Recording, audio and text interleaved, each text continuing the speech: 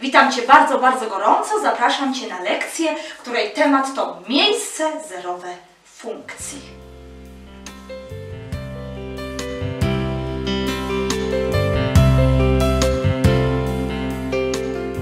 Aby przedstawić Ci istotę tego problemu, jakim jest wyznaczanie miejsca zerowego funkcji, zacznę od precyzyjnej definicji. A więc miejsce zerowe jest to taki argument, czyli x0, dla którego wartość funkcji dla tego właśnie argumentu wynosi 0. Pamiętaj, to jest definicja. Miejsce zerowe jest to taki argument, to nie jest punkt. E, Wiele właśnie osób myśli, że miejsce zerowe to jest punkt. Absolutnie.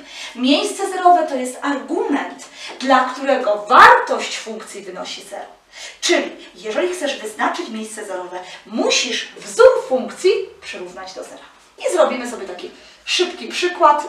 Niech będzie funkcja f od x o wzorze x kwadrat minus 9. Żeby wyznaczyć jej miejsca zerowe, będziemy musieli przyrównać ją do zera. Czyli f od x równa się 0. Ja oczywiście piszę x0, żeby takie było skojarzenie miejsce zerowe, ale jak wykonujemy obliczenia, nie muszę pisać tutaj x0. Absolutnie. Dobrze, czyli x kwadrat równa się minus 9 przeniosę będzie 9. Spierwiastkuję i jak ja to spierwiastkuję, to otrzymam x równe 3 lub x równe minus 3. Zatem, jaki wniosek? Wniosek jest następujący, że moim miejscem zerowym może być minus trójka, ale może być też trójka. Dlatego moja funkcja ma dwa miejsca zerowe. Nie powinno Cię to dziwić. Dlaczego? Dlatego, że e, na zadaniach, które przygotowałam dla Ciebie na tą lekcję, zobaczysz, funkcja może mieć dwa miejsca zerowe, może mieć trzy miejsca zerowe, może mieć nawet 10 miejsc zerowych, może nie mieć żadnego, a może mieć nieskończenie wiele. Ja będę chciała z Tobą te problemy właśnie omówić na tej lekcji.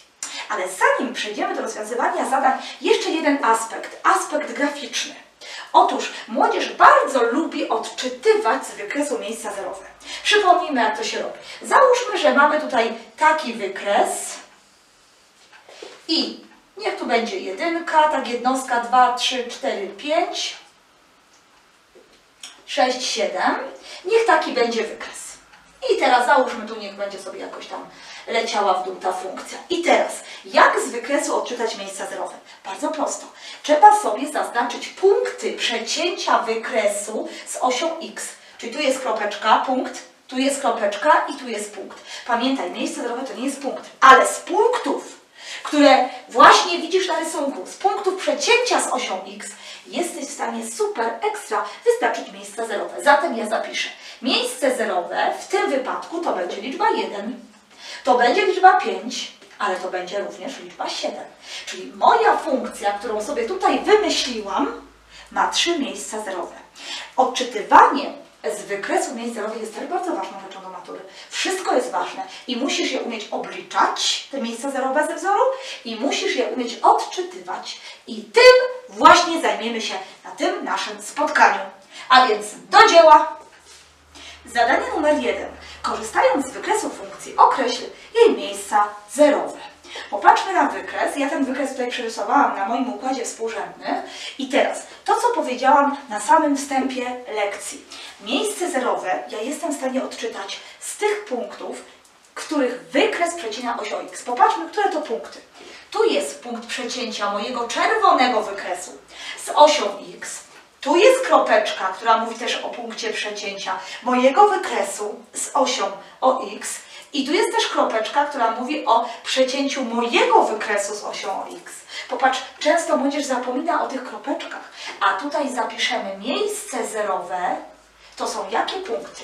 Minus jedynka, dwójka i czwórka. Czyli moja funkcja, którą tutaj przykładowo narysowałam, ma trzy miejsca zerowe, które jestem w stanie odczytać na podstawie właśnie tutaj wykresu funkcji. Zadanie numer dwa. Korzystając z wykresu funkcji, określ miejsca zerowe tej funkcji.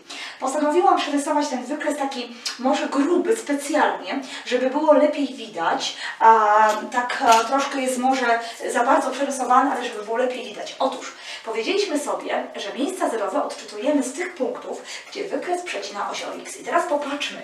Moim miejscem zerowym oczywiście jest ten punkt, jest ten punkt, jest ten, jest ten, jest ten, jest ten, popatrzcie, ja palcem przesuwam ten. To są miejsca wszystko zerowe. Dlaczego? Bo one leżą na osi OX. Czyli mój wykres przecina w tych miejscach oś OX.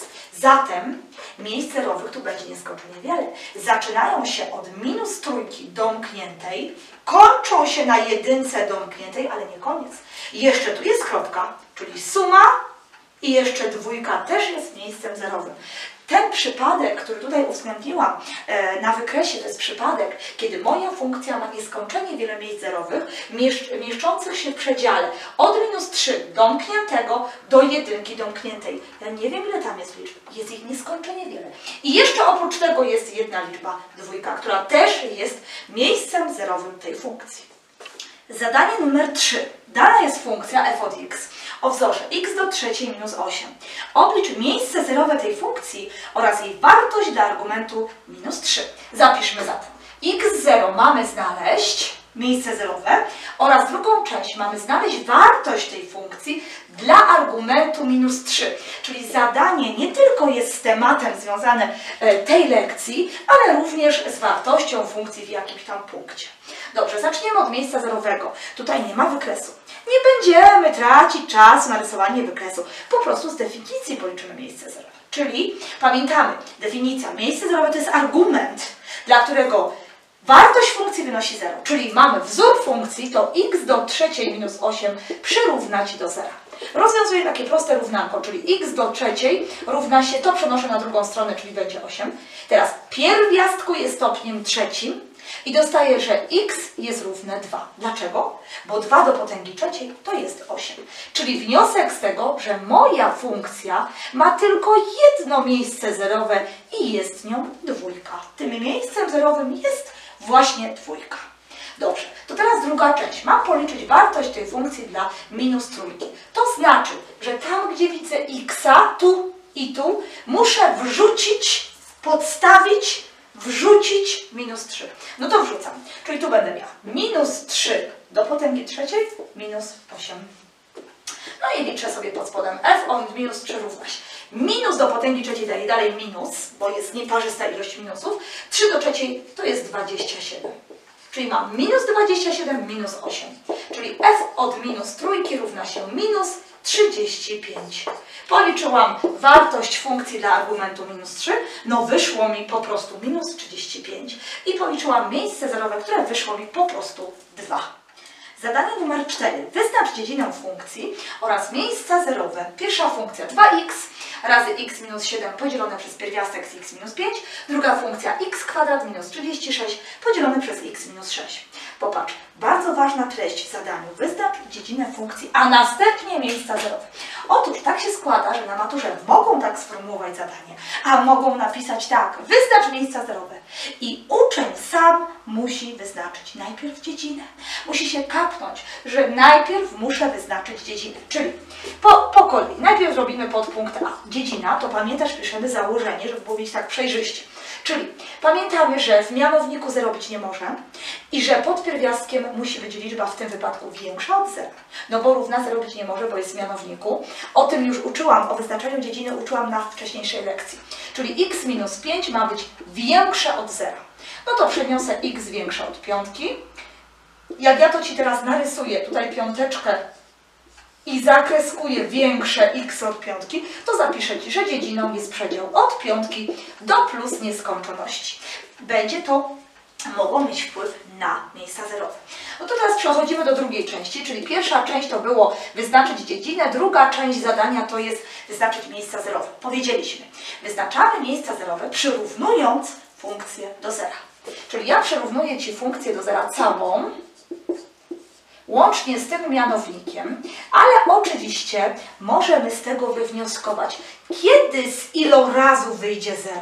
Wtedy, kiedy w liczniku jest 0. No w mianowniku być nie może 0 absolutnie, czyli wystarczy, że przyrównasz sam licznik do zera.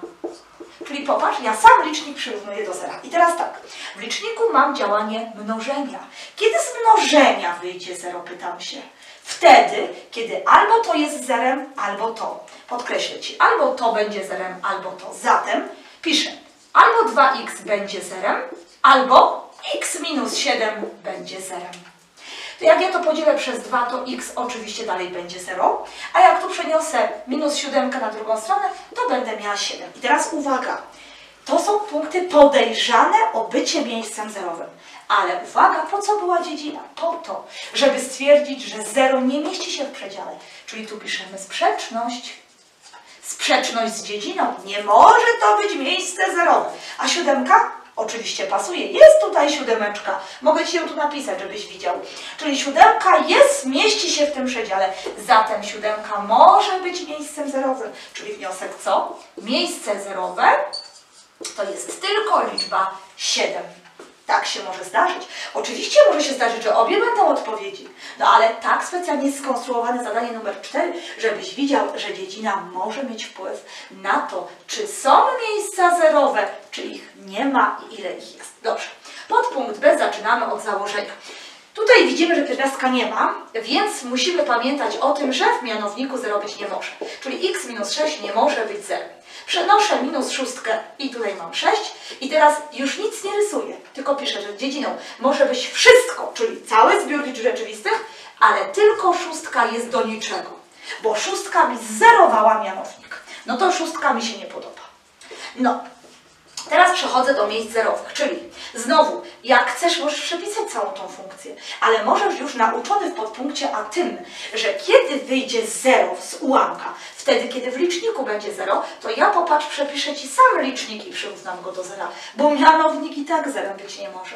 No i teraz to rozwiązujemy. Minus 36 na drugą stronę to będzie 36. Jak ja to spierwiastkuję, to pamiętam o tym, że muszę napisać x równa się 6 lub x równa się minus 6. I znowu myślę, czy szóstka może być miejscem zerowym? Patrzę na dziedzinę, po to ona była. Rzeczywiste z wyłączeniem 6. O, to nie, nie, nie. To jak z wyłączeniem 6, to tu jest sprzeczność. A czy minus szóstka może być? Tak, bo nie została wyrzucona ze zbioru liczb rzeczywistych. Jak najbardziej minus szóstka jest ok, czyli wniosek miejscem zerowym jest liczba minus 6. Zadanie numer 5. Wyznacz miejsca zerowe funkcji. Pierwsza funkcja jest dana w takiej postaci x minus 27 razy 2x plus 8, podzielone to wszystko przez x minus 15, a druga funkcja to jest tak zwana funkcja klamrowa. Yy, jeden wzór to jest x kwadrat minus 16, ale tylko gdy x jest w przedziale od minus 5 do 1, a drugi, druga jej część to jest 3x minus 9, ale tylko wtedy, gdy x należy do przedziału od 1 do 5 obustronnie domkniętego. Jak widzisz, na pewno podpunkt B jest trudniejszy, ale zanim do niego dojdziemy, przejdźmy przez podpunkt A. Co nas tutaj mm, interesuje? Popro, poprosiłam o wyznaczenie miejsca zerowego, ale najpierw dziedzina. Musisz o tym pamiętać, że najpierw wyznaczamy dziedzinę, bo czasem ta dziedzina może nam zaburzyć te miejsca zerowe. Więc x minus 15 nie może być zerem. Przenoszę, czyli x nie może być 15, zatem dziedziną może być wszystko, tylko nie 15. Czyli rzeczywiste z wyłączeniem liczby 15. No to to jest dziedzina. Teraz przechodzimy do miejsc zerowych. Robimy tak podobnie jak zadanie numer 4, czyli kiedy z ilorazu wyjdzie Ci 0? Wtedy, kiedy z licznika wyjdzie Ci 0. Przepiszę ten licznik. Tak, obojętnie w jakiej kolejności, tu jest mnożenie, przestawiłam sobie 2x plus 8 razy x minus 27 równa się 0. Kiedy z iloczynu wyjdzie 0? Bo tu jest iloczyn. Wtedy, kiedy albo pierwszy nawias jest zerem, albo drugi nawias jest zerem. No któryś musi być zerem, żeby coś razy 0 dawało 0, prawda? Mogą być oba na raz. No i tu rozwiązujemy, czyli 2x równa się, przenosimy minus 8, dzielone przez 2, czyli x równe minus 4, a tutaj x równa się, minus 27 przenosimy, będzie 27. I teraz myślimy, czy minus czwórka może być miejscem zerowym, czy została wyrzucona z dziedziny? Nie, jest ok, nie wyrzucona, bo 15 jest wyrzucona. Teraz, czy 27 może być miejscem zerowym, czy wyrzucona? Nie, też jest ok, bo tylko 15 jest wyrzucona. Zatem moja funkcja ma tym razem dwa miejsca zerowe. Minus 4 i 27. W, pod, y, w zadaniu czwartym, w podpunkcie zarówno A, jak i B, dałam takie przykłady, że tam jedno z z takich e, prognozowanych miejsc zerowych jednak odrzuciliśmy, bo było sprzeczne z dziedziną. A tutaj specjalnie zrobiłam taki przykład, żebyś nie myślał, że zawsze jest sprzeczne z dziedziną, prawda? Raz jest sprzeczne, raz jest niesprzeczne, ale ta dziedzina jest ważna. Przechodzimy do podpunktu B. Podpunkt B jest oczywiście troszkę bardziej skomplikowany i teraz myślimy, czy tu potrzebna jest dziedzina? Otóż, tu nie ma mianownika, nie ma pierwiastka. Tu nie ma mianownika, nie ma pierwiastka, nie potrzeba wyznaczać dziedziny. Zresztą, popatrz, tu już jest wyznaczona dziedzina. Czyli, jak masz rozumieć taką funkcję, która składa się z takiej klamry? Ty masz to rozumieć tak, że moja funkcja raz jest taka, a raz jest taka. To tak jak ty, idąc na przykład do kościoła, ubierasz się elegancko. Idąc na dyskotekę, ubierasz się na przykład w taki sposób jakiś luźny. I tak jest tą funkcją. Raz ma taki wzór, a raz se ma taki wzór. A kto jej zabroni? Tak wygląda. Raz tak, raz tak. Czyli jak ja chcę wyznaczyć jej miejsca zerowe, to ja każdą z jej postaci muszę przyrównać do zera. No bo taka jest definicja, nie? Czyli przyrównuję pierwszą postać do zera, albo tą drugą postać do zera. Myślę, że to zrobiłbyś na pewno intuicyjnie, tylko teraz co dalej? No, dalej będziemy rozwiązywać zwyczajnie jak równanko, czyli przenoszę 16, pierwiastkować, wychodzi mi x równe 4 lub x równe minus 4. I teraz uwaga, patrzymy, czy czwórka może być, to znaczy patrzymy na ten przedział. Pamiętaj, ten przedział jest wtedy, i wtedy możesz ją przyrównywać do zera, ale przy takim przedziale, przy takim założeniu. Czy czwórka jest ok? Nie. Czwórka jest poza tym przedziałem, czyli piszemy sprzeczność. Czy minus czwórka jest ok? Mieści się w tym przedziale? Tak. To podkreślam. No to teraz robię tą drugą część, czyli przenoszę. Czy x równa się minus dziewiątka na drugą stronę będzie 9, dzielę przez 3, dochodzę do wniosku, że x jest równe 3. I myślę sobie, czy trójka jest ok, ale w stosunku do mój drogi, do tego przedziału, bo ja teraz to przyrównywałam do zera. Czy trójka się mieści w tym przedziale? No tak, oczywiście, mieści się trójeczka. x równe 3. Zatem mogę powiedzieć, że moja funkcja ma dwa miejsca zerowe. Minus czwórkę, czyli w jednej postaci wyszła mi minus czwórka, a z drugiej postaci wyszła mi trójka. No tak wyszło, że moja funkcja ma dwa miejsca zerowe. Zadanie numer 6. Dana jest funkcja f od x równa ax kwadrat minus 16a plus 45. Wyznacz a, wiedząc, że jej Miejscem zerowym tej funkcji jest liczba minus 1. Takie zadanie troszkę inaczej sformułowane. Dlaczego? Bo w poprzednich zadaniach to myśmy się uczyli odczytywać miejsca zerowe, bądź wyznaczać ze wzorów miejsca zerowe, tak? A teraz chcę, żebyśmy skorzystali z takiej informacji. Jest podane w treści, że miejscem zerowym jest minus 1.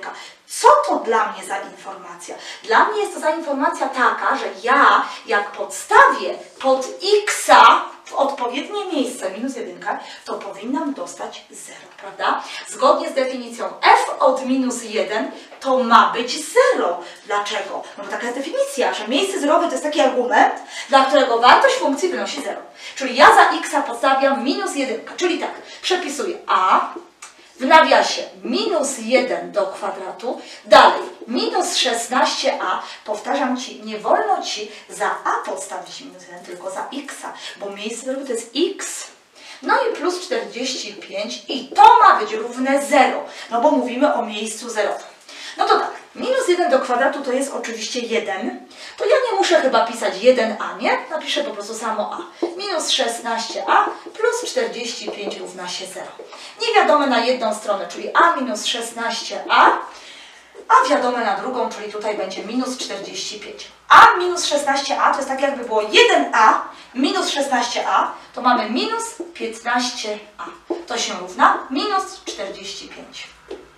Dzielimy obustronnie przez minus 15 i dochodzimy do wniosku, że a to się równa, minusy mi się tu skasują pięknie. Wychodzi mi 45 podzielone przez 15, czyli 3. Popatrz jakie proste. Miałam wyznaczyć parametr a, czyli literkę a, wiedząc, że miejscem zerowym jest minus 1. To pamiętaj, jak podają Ci w treści miejsce zerowe, to Ty masz je podstawić ale nie tylko podstawić, przyrównać do zera, skorzystać z definicji miejsca zerowego. Tak jak ja skorzystałam, podstawiłam i przyrównałam do zera. No i z tego oczywiście rozwiązałam proste równanko liniowe i wyszło mi a równe 3. Przygotowałam na tą lekcję miejsce zerowe funkcji sześć zadań. To było ostatnie zadanie, tak jakby e, troszkę inne od tych wcześniejszych, bo w tych wcześniejszych zadaniach, tak podsumowując, wyznaczaliśmy miejsca zerowe, odczytywaliśmy miejsca zerowe. W zadaniu numer 6 wykorzystywaliśmy miejsce zerowe do tego, żeby coś innego obliczyć. No bo wiesz, umiejętnością jedną również na maturze jest taka, żebyś wykorzystał a to, co jest podane w treści, do obliczenia czegoś innego. No to jest sztuka w matematyce, tak? Tak y, masę zadań się rozwiązuje. I właśnie to zadanie tak rozwiązaliśmy sobie. Mam nadzieję, że Ci się podobało. Zapraszam Cię już na kolejne spotkanie właśnie z funkcjami.